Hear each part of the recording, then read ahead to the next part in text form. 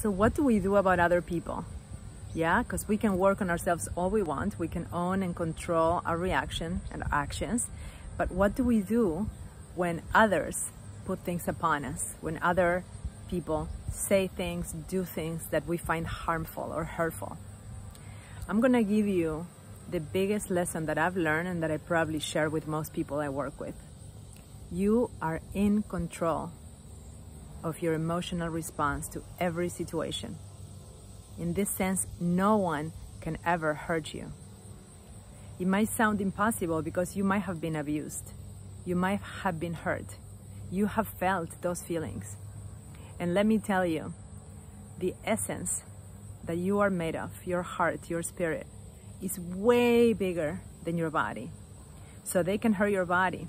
They can put you in a prison, even and a physical prison and a real prison. Like, remember the story of Mandela? He was in prison for years and he was quoted saying that they could never, ever own his soul. That even if he was in solitary confinement, his soul was free. So I know it sounds very hard to do, and it, it is. And at the same time, it takes the belief and the understanding that in the essence that you are, you are always free. And what you make of it, how you decide to own that truth or not, will have, you know, a very clear reflection in your experience. So let's practice this together. Next time somebody comes, tells you something hurtful, or something happens that you are discontent with, pause for a moment, take a breath, and see if there's the possibility there that you can own your emotional reaction. If you pay attention to about three fingers below your belly button.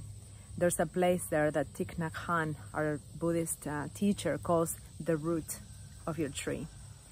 And when you're rooted in that tree, the, the waves of your emotion, the, the, the top of the tree that goes left and right with the, with the wind cannot really affect you because you are rooted in the base.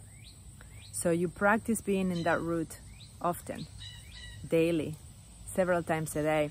And when that emotion comes and it wants to uproot you, it can't. It's not so easy for it because you are root, rooted, you see?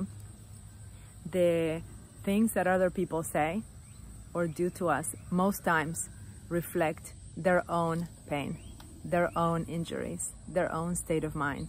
They're not about you at all. I hope this is helpful. Let me know in the comments if you can practice it and if you have any questions. Thank you.